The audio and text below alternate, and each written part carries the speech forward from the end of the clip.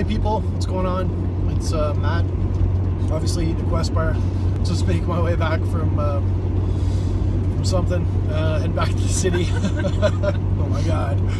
Listen, I just wanted to talk to you guys about something that nobody talks about because it's taboo, but I don't really give a shit about taboo. I give a shit about everybody protecting themselves. And something I didn't do for a long time. If um, if you're taking, even whether it's medical testosterone or if you're taking testosterone or whatever else, or you're doing anabolics or you're competing, it's really important that you go and get your blood levels checked. Go get your blood rec, test for testosterone, check check your thyroid function, um, check of course your liver function and stuff like that.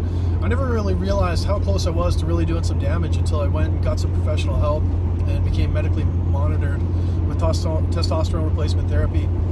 Um, when you take testosterone or anabolics, your hemoglobin levels in your blood, which is what um, helps to bind blood cells together and clot things together, um, tend to increase, which means you're at a higher risk of heart attack.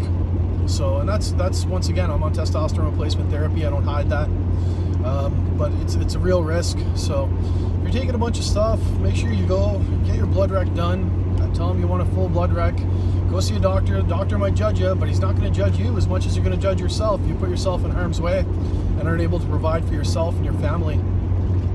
Do the right thing. Uh, they also suggest giving blood as well, um, as often as possible. And it's not like you're jamming some poor kid full of a thousand milligrams of cypionate. You know, uh, your blood gets uh, your blood gets filtered, everything gets drained out, and by the time it, it reaches somebody who's in need, it's completely clean.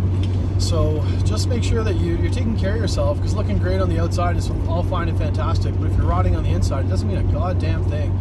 And it's really important to take care of yourself because when you put yourself in these kind of positions, you're responsible for your own health ultimately. You are your own doctor. Go get yourself checked and uh, spread the word. That's all I have for today. Have a great day, guys.